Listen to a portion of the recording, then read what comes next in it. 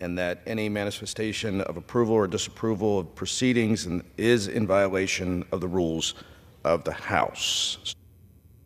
Gentleman from Florida is recognized. I'd like to yield one minute uh, for the gentleman from Florida, Mr. Waltz.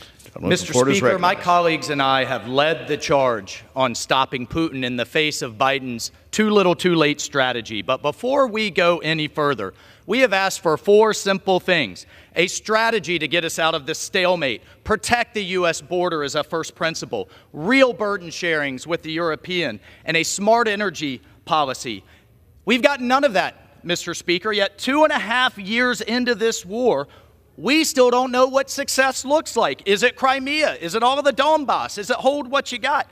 We don't know because President Biden won't tell us and the American people. We must close the U.S. border and defend it as a matter of first principle. It's not an either or, but it is a matter of priorities. We hear the EU and NATO are doing all it can.